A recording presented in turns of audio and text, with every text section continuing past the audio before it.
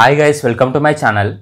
In this video, I will be covering release management in DevOps and then I will explain relationship between DevOps and ITIL. Guys, I have uploaded complete DevOps subject tutorials. I will provide that link in description, you can watch from there. If you are watching this video for the first time, don't forget to like, share and subscribe to my channel. Let's get started. At first, I will explain release management in DevOps. Release management in DevOps includes scheduling, planning, and controlling software development process across development, testing, pre-production and production environments. Guys, release management is nothing but controlling entire software development process from developing software to placing that software in production server. Controlling this entire process is known as release management. When to start and when to manage and complete all these stages comes under release management. This release management typically involves version control, continuous integration and continuous deployment pipelines, automated testings, deployment automation and monitoring. Guys, version control is nothing but placing our code in Git and GitHub. After placing our code in GitHub, automatically continuous integration, testing and deployment. All these works are done automatically by using various kinds of tools in DevOps. These tools are known as automation tools. In DevOps, we will use various kinds of automation tools in order to complete entire work from developing software to placing our software in production server. So if we use automation tools, our work will complete very fast, that way with very few errors or without any errors. So this will be good for business and as well as users. So in simple terms, release management in DevOps is all about making sure that when we release or update any new software, everything goes smoothly and this entire work is done by using automation tools and processes. Guys, in the software development process, release manager will perform scheduling, planning and controlling software development process, when to start that software and how to complete the software. This entire control is under release manager. And next one is product owner. What kind of software user want and what are the features that must be present in the software. Everything is prepared by product owner. And whereas testing manager is responsible for testing software in order to make that software bug free and whereas security team will provide security to that software and last one is DevOps. DevOps team will automate entire work by using various kinds of tools. From writing code to placing that software in production server. Complete work is automated by using DevOps team.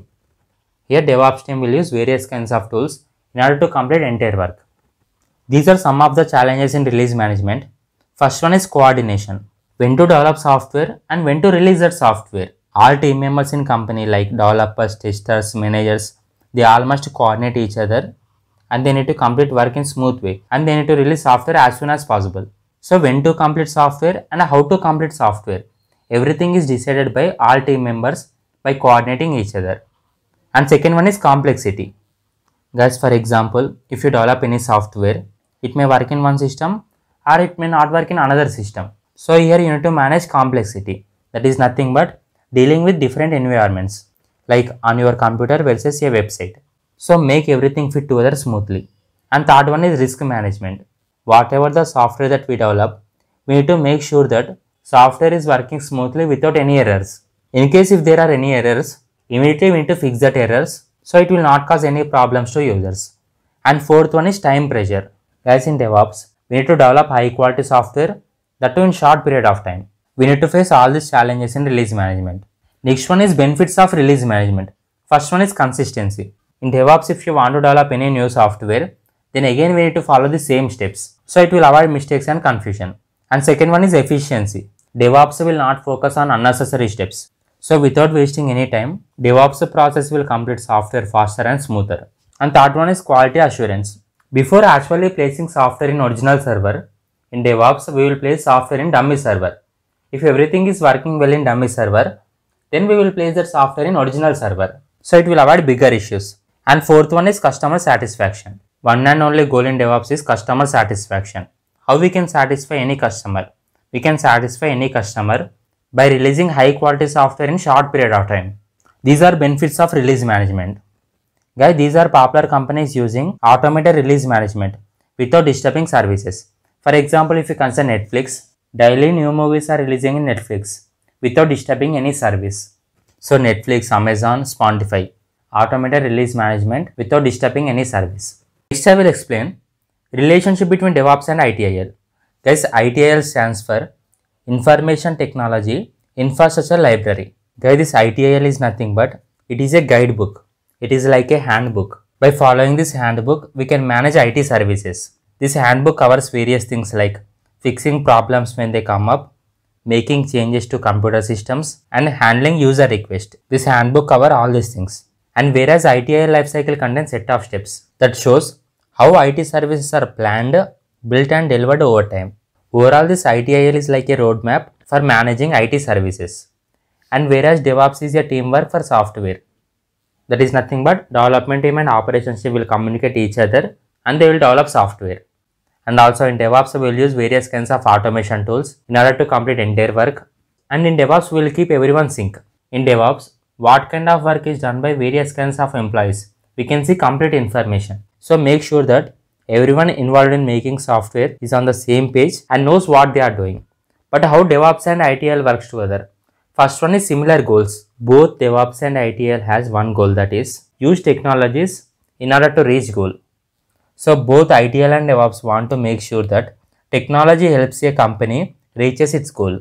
Second one is improving process. ITIL will give plan for managing IT task and whereas DevOps will give various kinds of tools for completing work faster and in better way. Third one is teamwork and communication. Guys, ITIL will says that everyone must be on same team. That is, everyone must work together in order to complete work.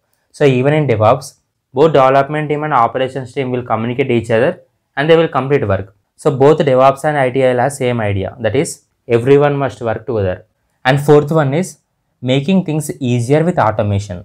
Guys, ITIL says that we need to complete work in smooth way, that with very less mistakes.